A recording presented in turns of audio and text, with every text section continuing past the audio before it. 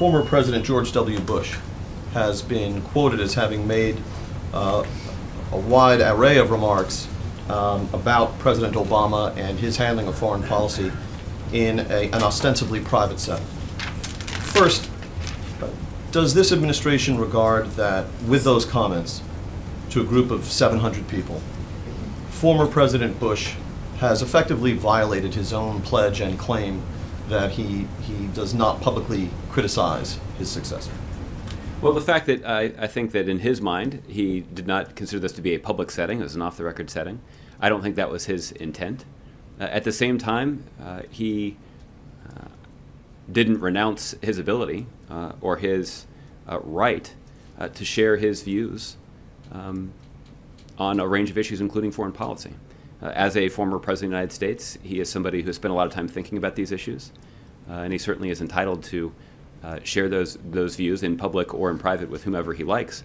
Uh, at the same time, I don't think it's a surprise. I don't think it was a surprise to anybody in that room, and I don't think it's a surprise to anybody in this room uh, that uh, President Bush might have uh, some differences with President Obama when it comes to foreign policy.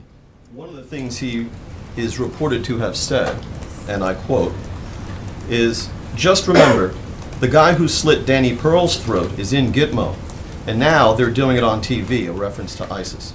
And the apparent argument being that uh, the current administration has allowed a group like ISIS to become the threat that it has. It wasn't a threat on the day George W. Bush left office. Your response?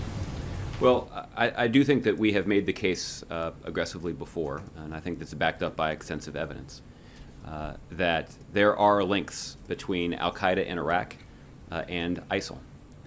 Uh, and the fact is, Al Qaeda was not in Iraq uh, prior to uh, President Bush's decision uh, to commit significant American military resources on the ground in that country. And that is a historical fact. But again, the fact that President Bush has a different perspective and a different philosophy when it comes to foreign policy isn't just a well known difference. in the minds of many people, it's the principal reason that President Obama is in the Oval Office right now. But how do you reckon with the historical fact that Al Qaeda in Iraq was effectively vanquished by the time the Bush Cheney administration left office?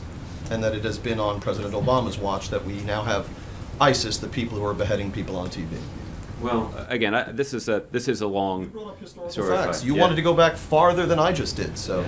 yeah. Well, and I guess what I'm saying is, um, I guess you're making the case that it started there and it looked like it was gone, uh, as a testament to President Bush's leadership. Uh, the fact is, I'm not sure that it uh, was gone. I think that, uh, this is something that took root uh, in Iraq.